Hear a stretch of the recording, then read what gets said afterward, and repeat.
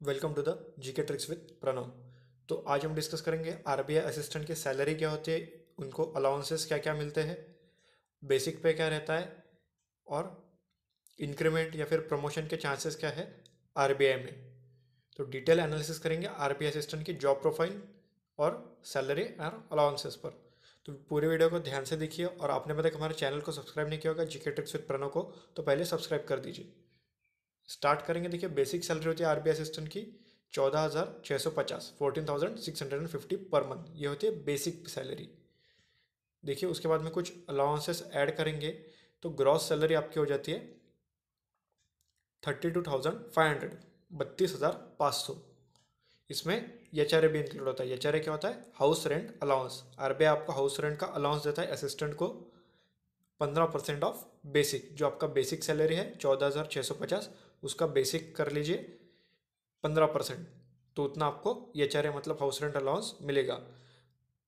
देखिए, आपने अगर आर बी आई का ऑफिशियल क्वार्टर्स लिया है तो आपको मिलते हैं अराउंड दो हज़ार एक सौ सत्तानवे मतलब two two thousand one hundred and ninety seven less than thirty two thousand five hundred के लिए। देखिए, अगर आपकी सैलरी है thirty two thousand five hundred तो उस पर आपको एच आर ए कितना मिलता है? Two thousand one hundred ninety seven. Next देखिए अब डिडक्शंस क्या होते हैं। आपके जो नेट uh, सैलरी है उसमें से thirty two thousand five hundred में से तीन हज़ार स्मॉल डिडक्शंस सेविंग्स जैसे पीएफ वगैरह उसमें कट होते हैं थ्री थाउज़ेंड देखिए तो आपका नेट पे कितना हो जाता है? Thirty two thousand five hundred में से अगर आप तीन हज़ार घटा देंगे डिडक्शंस के तो उनतीस हज़ार पाँच सौ twenty nine thousand five hundred आपका नेट पे होता है। उसके बाद में देखिए पर्क्स क्या मिलते हैं? आर बी असिस्टेंट को। पर्क्स या फिर अलाउंस कह सकते हैं आप उसे आसान भाषा में। तो देखिए कन्वेंस अलाउंस मिलता है for fifty five litre petrol fifty five litre petrol हर महीने का कन्वेंस अलाउंस होता है और rupees approx three thousand nine hundred का थ्री थाउज़ेंड नाइन हंड्रेड का पेट्रोल अलाउंस पचपन लीटर नेक्स्ट देखिए न्यूज़पेपर अलाउंस भी मिलता है आरबीआई असिस्टेंट को।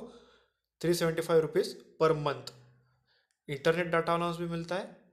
One zero eight zero one thousand eighty rupees का इंटरनेट अलाउंस पर मंथ ये सारे अलाउंस पर मंथ है। नेक्स्ट देखिए हाउस होल्ड एक्सपेंस अलाउंस कितना मिलता है? Per month thousand rupees allowance मिलता है। तो टोटल पर्क्स कितने मिलते हैं? Six thousand three hundred and fifty five around जो पर्क्स मिलते हैं तो होते हैं six thousand three hundred and fifty five अब देखिए, अपना टोटल पेमेंट कितना होता है फिर? पहले मैंने आपको नेट पे बताया था और नेट पे में आप पर्क्स ऐड करेंगे ट्वेंटी नाइन थाउज़ेंड में तो thirty five thousand and eight hundred and fifty five ये होता है आपका टोटल सैलरी इसके साथ में आरबीआई को क्या मिलता है? आरबीआई असिस्टेंट को सोड एक सौ मिल मिल कूपन्स ये क्या होता है? मिल के लिए कूपन वाउचर होता है तो ये सात हज़ार आठ सौ रुपये का ईच क्वार्टर में मिलता है। ईच क्वार्टर मतलब हर तीन महीने में सात हज़ार आठ सौ रुपये मिल कूपन वाउचर के।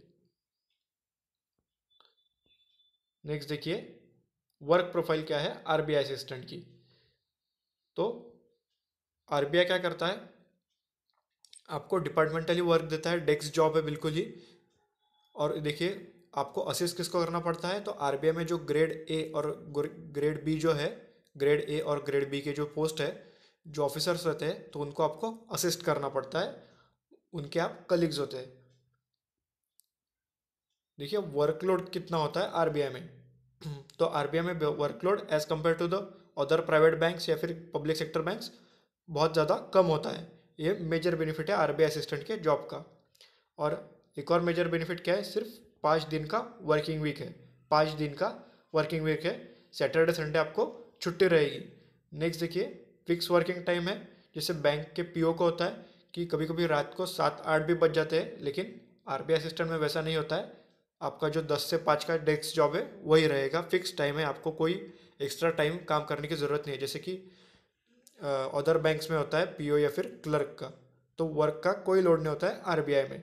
और पीस ऑफ़ माइंड मतलब बहुत सुकून और शांति भरा जॉब है आरबीआई असिस्टेंट देखिए प्रमोशन अपॉर्चुनिटीज़ क्या है आरबीआई असिस्टेंट में? तो आरबीआई असिस्टेंट में आप प्रमोट होकर क्या बन सकते हैं? ऑफिसर ग्रेड ए तो देखिए बैंक में प्रमोशन के बाद आप ग्रेड कैसे बढ़ता है? Grade A B C D ऐसे आपका ग्रेड बढ़ते जाता है एज अ बैंकिंग ऑफ़िस में। देखिए after completion of three year जब आप आर बी असिस्टेंट के आप तीन ईयर कंप्लीट कर लेंगे, तब आपके प्रमोशन के चांसेस बढ़ते हैं और आप एज अ प्रमोट होंगे ऑफिसर ग्रेड ए इसके लिए आपके इंटरनल एग्जामिनेशन होगी और उसके बाद में उसका इंटरव्यू भी होगा। तो इंटरनल एग्जामिनेशन और इंटरव्यू अगर आप क्लियर करते हैं तो अच्छी जॉब और जॉब अपॉर्चुनिटी है आर असिस्टेंट में प्रमोशन के प्रमोशन के हिसाब से। नेक्स्ट देखिए अपकमिंग वैकेंसीज कितनी है? तो 2021 में 926 प्लस पोस्ट निकल सकते हैं 2021 आरबीआई असिस्टेंट की। तो यही है जॉब प्रोफ़ाइल सैलरी और अलाउंसेस ऑफ़ आरबीआई असिस्टेंट अगर आपको वीडियो अच्छा लगा हो तो लाइक ज़रूर कीजिए और इसकी लिंक अपने फ्रेंड्स के साथ भी शेयर कीजिए। आपने अभी तक हमारे चैनल को सब्सक्राइब नहीं किया होगा जीके ट्रिक्स विद प्रणव को तो सब्सक्राइब कर दीजिए। Thank you